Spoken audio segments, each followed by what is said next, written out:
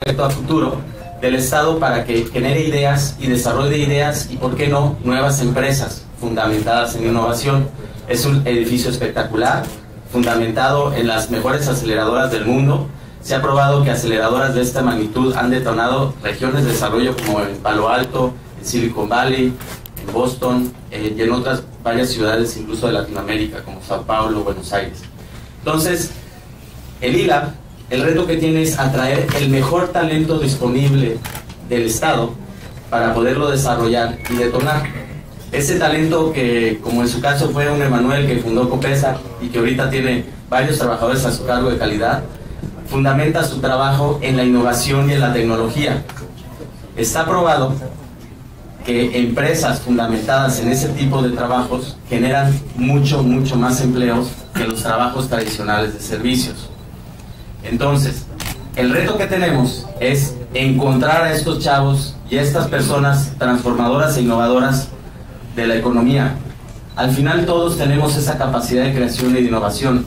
Es una cuestión que se nos presente la oportunidad y, ¿por qué no?, como que se nos dé el espaldarazo para echarnos a la alberca, como yo digo. El hackathon, eso es lo que busca, descubrir ese talento, ¿no? Ese talento que mediante 48 horas de trabajo pueda desarrollar un, un proyecto o resolver un problema de la ciudad o por qué no proponer una nueva idea de negocio. Y durante ese proceso, pues no cualquiera se echa 48 horas trabajando a full, en un ambiente multidisciplinario, este, y además de eso, presentando en público a los empresarios y a la sociedad, y se les va a evaluar, y a los ganadores se les van a dar premios como becas al acceso al ILA, y ahorita acabamos de tener la novedad de que incluso becas para lo que es Harvard Business School en la parte de la Universidad Virtual de Emprendedurismo. Entonces, eh, pues la verdad, bienvenidos. Le voy a pasar el micrófono a, Pepe. Estamos para resolver las dudas que sean. Lo que queremos es descubrir este talento, que el lugar se nos viene. Eh, tenemos un centro de convención espectacular y muchas gracias, Emanuel. Y que ese centro de convenciones se llene de energía, la mejor vibra, de chavos con ganas de crear nuevos proyectos, ¿no? Pepe, adelante.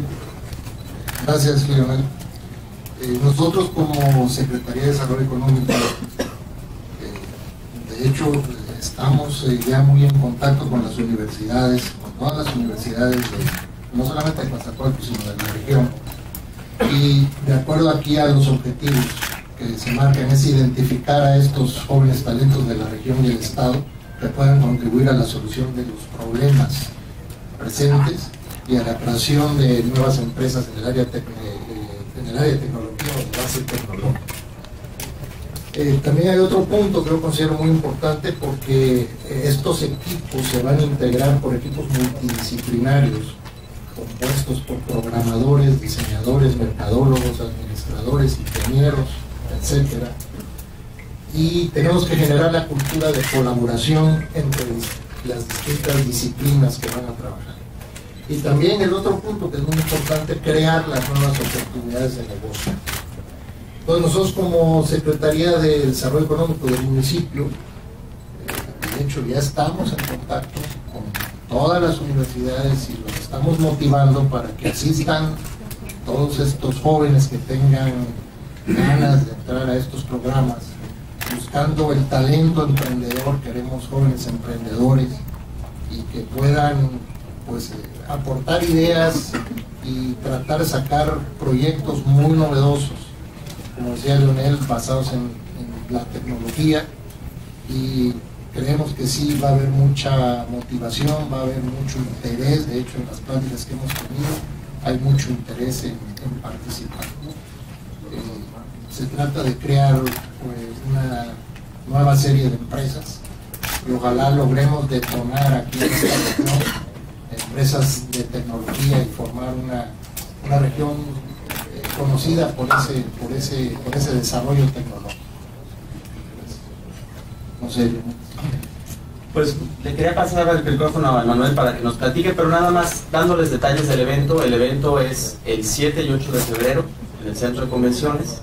El 7 es un viernes. Visualicen el evento que empieza a las 9 de la mañana. Vamos a tener series de, series de pláticas, tres horas de pláticas donde a los jóvenes y a la comunidad en general, más que invitados, se, les van a presentar diversos paneles, paneles de emprendedores que han hecho negocios incluso son emprendedores de la región, este, y que han hecho negocios, o sea, casos tan de éxito como Copesa, como hay casos de negocios que están en incubación y que han tenido premios nacionales, que es gente de Coatzacoalcos.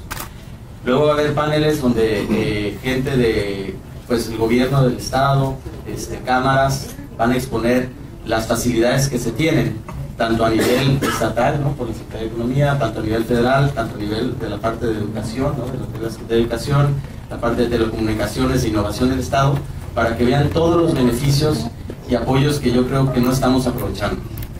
Y después se les van a dar casos de negocio para que visualicen cómo trabajar en equipo y se sientan más cómodos.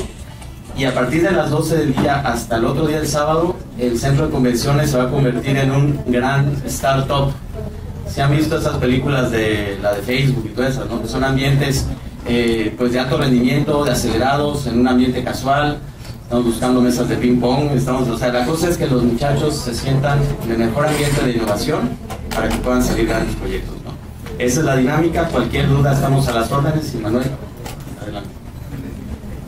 Pues muchas gracias, gracias a todos por su presencia, por acompañarnos en esta iniciativa importante liderada hoy por Leonel, atinadamente.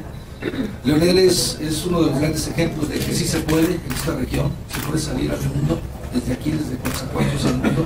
Él lo representa en Estados Unidos, enseña negocios allá, y, y eh, sirviendo como un enlace importante. ¿Qué puedo resaltar? Bueno, la importancia que tiene que el gobierno, sus tres niveles de gobierno, eh, la iniciativa privada y las universidades que son nuestras casas de conocimiento, nos estamos poniendo de acuerdo para, para hacer este tipo de actividades. Y eso es importantísimo. Es, habla de un nivel de comunicación y un nivel de colaboración importantísimo.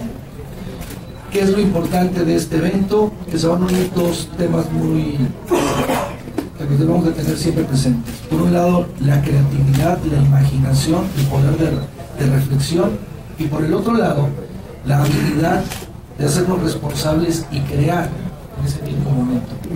Hacer una dinámica de este tipo eh, ofrece a todos los jóvenes universitarios de esta región una gran posibilidad de exponerse, de exponer su talento, de exponer su creatividad, de exponer sus potencialidades. Y eso, eso es muy valioso. Eso es valioso tomando en cuenta que Coatzacoalcos es una región industrial con un alcance mundial, donde estamos pensando en, convertirnos en un corredor transísmico que una el planeta mismo.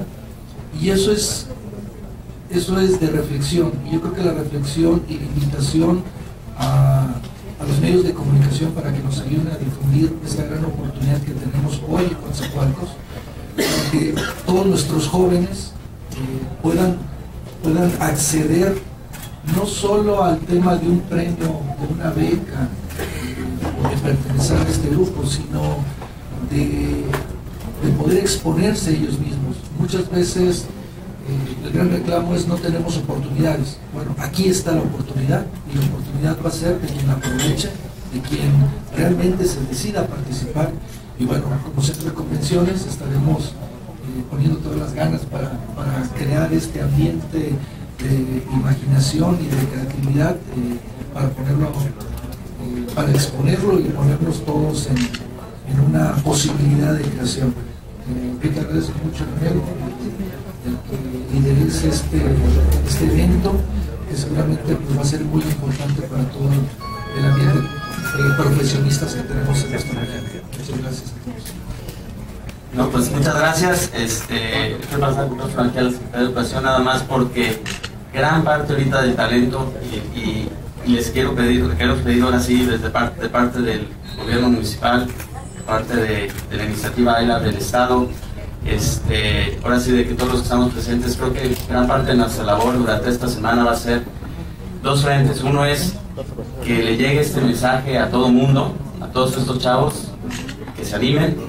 Y la otra, tenemos una labor de incluir a más y más empresas privadas, porque al final estos esfuerzos se han visto que el éxito sostenible de estas iniciativas no solamente dependen ya sea de que la lidere el gobierno federal, el gobierno del estado, el municipio, sino que se involucren la iniciativa privada de manera muy fuerte. Entonces, paso el micrófono aquí.